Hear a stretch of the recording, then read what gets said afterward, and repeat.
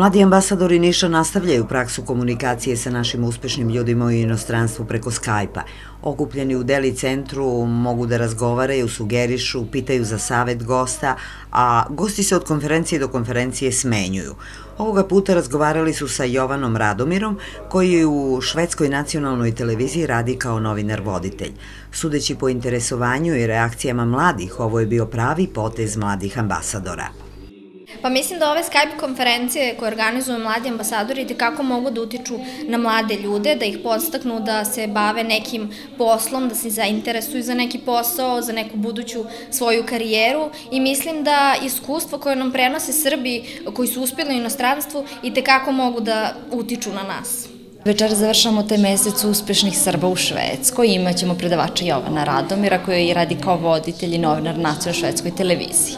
Ali imali smo i zaista u prethodnom periodu uspešne ljudi našu glumicu Jelenu Milu s kojim ste već radili intervju, Miška Stanešića, kreativnog direktora Terraforming studija i Jovana Antovića koji je Nišlija, a radi na Karolinske institutu u Stokholmu. Tako da to su zaista jako uspešni koji su, naši ljudi koji su ostvarili karijeru u Švedskoj i koji su preneli preneli tokom marta mesta svoje znanje svim mladim zainteresovanim nišljama. Pretpostavljam da posle toga i razgovarate o svemu tome što se događalo, odnosno o komunikaciji sa našim ljudima u svetu. Kakvi su tvoji utisci? Ono što je meni jako zanimljivo, to je da su oni svi jako raspoloženi da prenose svoje znanje. Zaista mi nismo dobili nijedan negativan odgovor. Sve naše ljude koji smo kontaktirali, oni imaju želju da održe taj kontakt sa ljudima u zemlji s koji su otišli. I zaista uvijek su spremni za komunikaciju, ono što svako od njih kaže, otvoreni smo za sve vrste pitanja. Zaista ne samo profesionalna, nego i neka lična, ako želite da ste kako smo se snašli, kakva je reakcija ljudi u našem okruženju, kakve su te zemlje. Prosto mi možda imamo i neke predrasude prema nekim severnim, hladnim zemljima, ali zaista onda čujemo iz prve ruke kako ljudi žive tamo i prosto kako se naši ljudi tamo snalaze. A kako reaguju deca, odnosno mladi ljudi? I oni imaju jako puno zanimljivih pitanja i to je stvarno, imaju oni pitanja kako su vaši roditelji reagovali kad ste otišli, do onih zaista stručnih, evo kada smo imali prošlog puta doktora, imali smo i dosta studenta medicine, tako da su oni imali jako konkretna pitanja za njega, kakve su stipendije, kako oni mogu da se savršavaju, koje kurseve da prate. Prosto zavisnosti da li je to neka njihova stručna oblast, koje, iz koje oblasti je taj predavač, ili su oni zaista samo posmatrači koji žele da čuju priču nekog uspe, neke uspešne osobe, u zavisnosti toga se razlikuju njihova pitanja. Kakav je tvoj utisak? Da li te konferencije mogu da utiču na mlade da napuste našu zemlju ili da ovde ostanu? E, je li jasnije sada u glavi šta treba činiti? Pa dosta sam razmišljao o tome, odgledao sam svaku konferenciju, saslušao svakog predavača i shvatio da njima nimalo nije bilo lako da napuste zemlju, da napuste svoju porodicu, svoje okruženje u, koje su, u kome su odrastali, da su se prvi put zaljubljivali, imali prva najbolja prijateljstva i otišli u neku, a onda otišli u neku drugu državu gde nisu imali ništa od toga. To je jako teško učiniti i svaki od naših predavača je to napominjao da a, oni to nisu radili a, onako ne razmišljajući, oni su to dobro promislili i shvatili da oni to moraju u tom trenutku da urade. Tako da oni možda u tom trenutku nisu imali izbora ili je to nešto bilo što je ja, bilo jako važno za njihovu karijeru.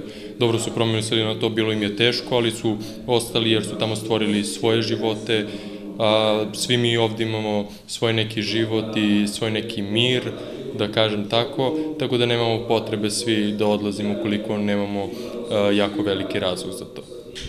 Slušajući njih video si da nije baš sve tako lepo i sjajno kao kada mladi ljudi krenu odavde pa pomisle jao pa tamo se lako dolazi do posla, tamo se primaju velike plate, tamo se lepo živi i visok je standard. Je li to stvorilo sad dilemu u tvojoj glavi da razmisliš šta bi mogao i kako bi mogao da ovde nađeš svoje mesto? Pa da, upravo je to i bio cilj ovog projekta, da mlade ljude naučimo kako mogu nešto da stvore i ovde u svom Nišu, u svom Leskovcu ili gde god, odakle god dolaze. Ove, I o tome su nam i pričali naši predavači, da oni u početku nisu imali velike plate, svi naši predavači su uspešni ljudi, oni sada možda imaju velike plate, ali do tog cilja je bilo teško doći i ove, svima su nam slali su nam poruku da možemo mi to i ovde da učinimo, možemo i ovde da imamo svoju sreću i da ostvarimo i svoje ciljeve i u Nišu. Ne moramo otići negde da bi ostvarili svoje ciljeve. Ti nekad razmišljao da odeš?